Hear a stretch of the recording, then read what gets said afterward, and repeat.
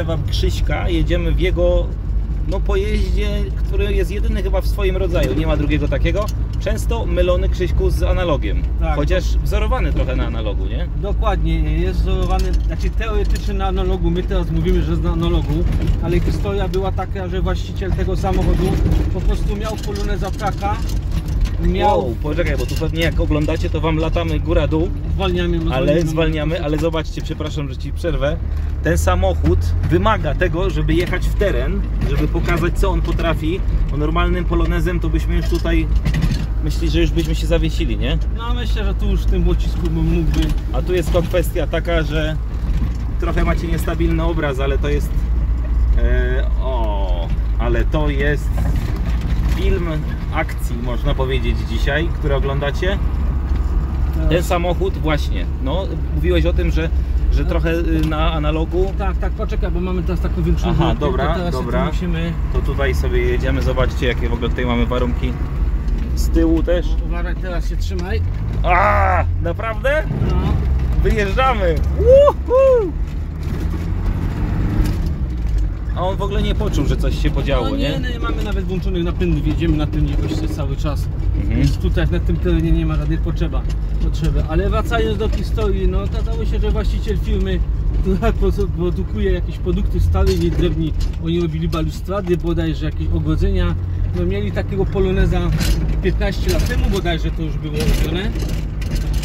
Mieli takiego poloneza i co wozili materiał tym polonezem, normalny polonez do wożenia materiału. No i mieli Isuzu Topera, skądś tam z ściągniętego. No i stwierdzili, no, że trzeba było coś mocniejszego zbudować, bo ten silnik jest za słaby w tym Aha. polonezie, no i coś większego. No i stwierdzili, że będą budować, yy, zbudują polonezę. No i zbudowali go, wyklepali go, ale nie było żadnego zamysłu i żadnej rozmowy, że to ma być polonez analog. Po Aha. prostu to miał być coś.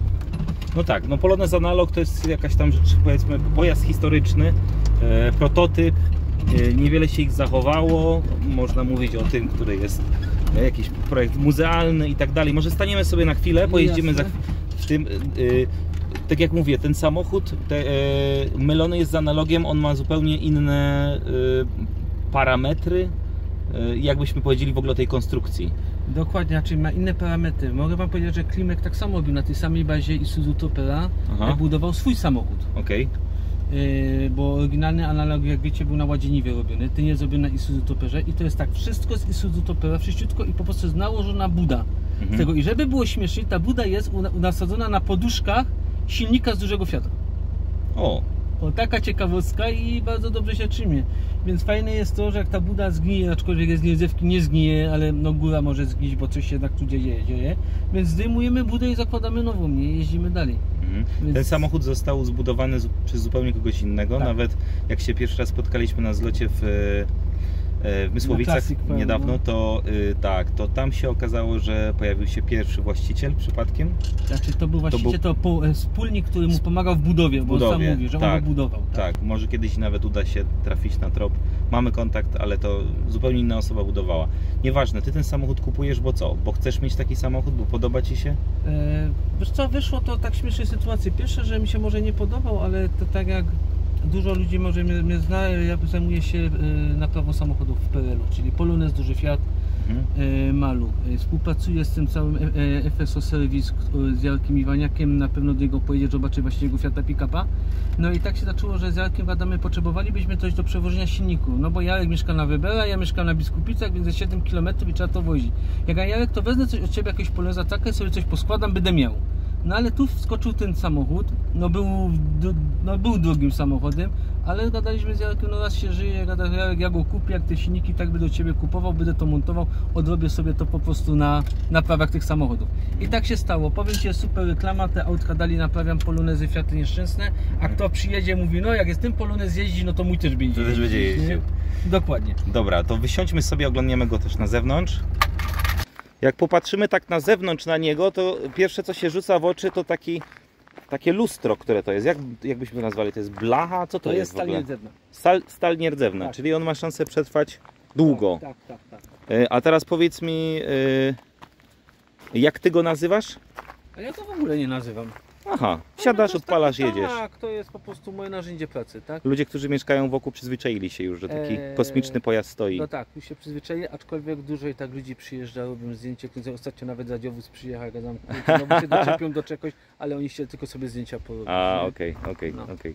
Eee, Jaką to prędkość rozwija? Chociaż to nie jest najważniejsze, ale... E, powiem Ci tak, no Da się powinien tym jak Isuzu Topper 150 na godzinę, nie? Ja Aha, tym jadę maksymalnie 100, bo strasznie te opony huczą, no pływa na tych oponach. No zresztą tak, on ma zbyt wysokie, on ma za wysokie opony wtedy moim Mhm. zdaniem.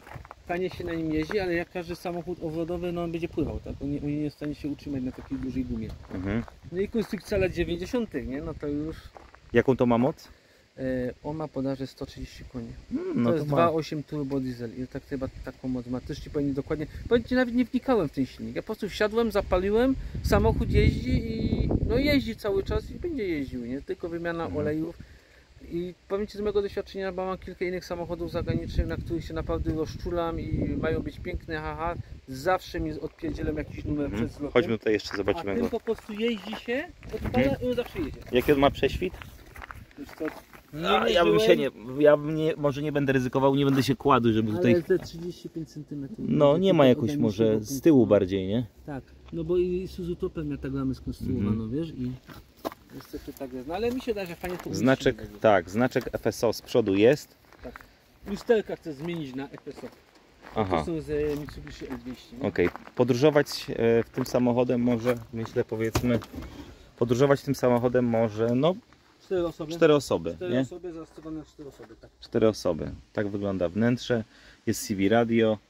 E, trochę tego poloneza powiedzmy, że przypom no, przypomina w środku. Jest. Na zewnątrz nie da się go nie pomylić. e, Szczególnie z przodu. Natomiast no, cała konstrukcja jest niesamowita, nie? Zapięty reduktor. e, Zrobione to ręcznie, trzeba było wysiąść z samochodu. Ale co to się dzieje w ogóle? Ja pierdzielę. To się nazywa mieć taki samochód, po drodze jeszcze blisko domu mieć... O kurde. Dobra, zaraz wysiądę, pokażę Wam jak będziemy jechać dalej, to pokażę Wam jak to wygląda z zewnątrz. Ale niech mi ktoś powie jak polonezem potrafi, czy, po, czy potrafi swoim polonezem jeździć e, w takim terenie. Oczywiście powiecie mi, że ten polonez ma inne właściwości jezdne, no bo to inna konstrukcja i tak dalej, ale jakby nie było, no cały czas mówimy, że jedziemy polonezem, zgadzasz się? No zgadzam się, no. Jakby nie było to co! A my dalej żyjemy.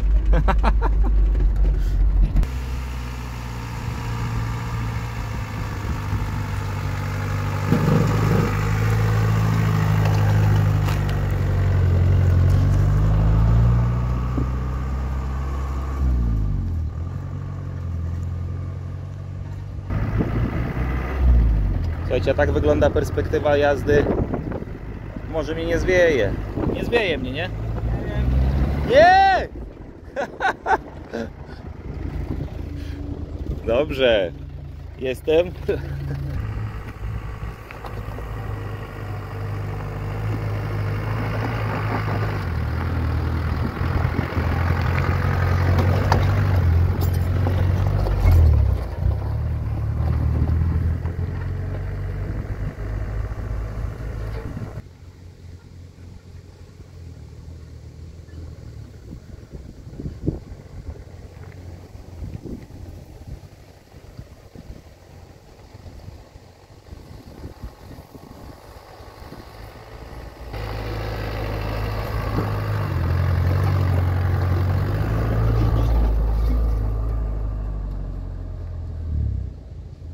Słuchajcie, dostałem y, propozycję przejechania się y, polonezem, no nie analogiem, 4x4, oryginalną, oryginalną, autorską wersją tego poloneza, tak jak rozmawialiśmy.